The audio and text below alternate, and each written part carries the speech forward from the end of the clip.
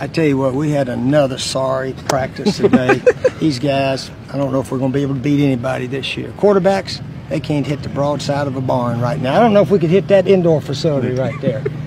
Uh, receivers, uh, they couldn't catch a cold if it was the middle of February, dropping everything.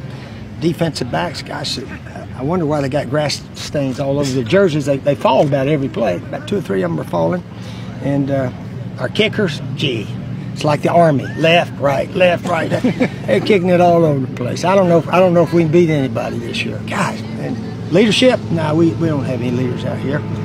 Guys are soft. They just they just can't. I don't know. Maybe I ought to give them a week off and start over and see if we can regroup and, and, and find some real real tough guys out here.